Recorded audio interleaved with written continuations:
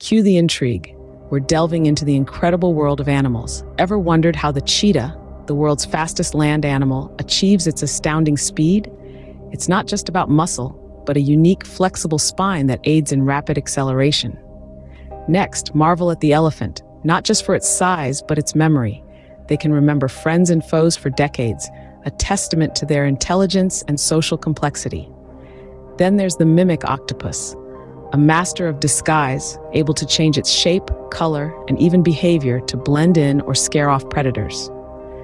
And finally, the humble honeybee, nature's essential worker, pollinating a third of the food we eat. Stay curious because the world of animals is filled with wonders waiting to be discovered. Until next time, keep exploring.